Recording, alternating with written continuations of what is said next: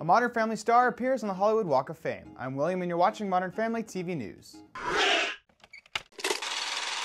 ModFam star Ed O'Neill has cemented his status in Hollywood as he received his very own star on the Hollywood Walk of Fame. O'Neill was thinking about turning the honor down as he considers names on sidewalks bizarre. However, Ed's 11 year old daughter told her father, If you don't, that means you're crazy. O'Neill changed his mind and now considers his star as something to be proud of.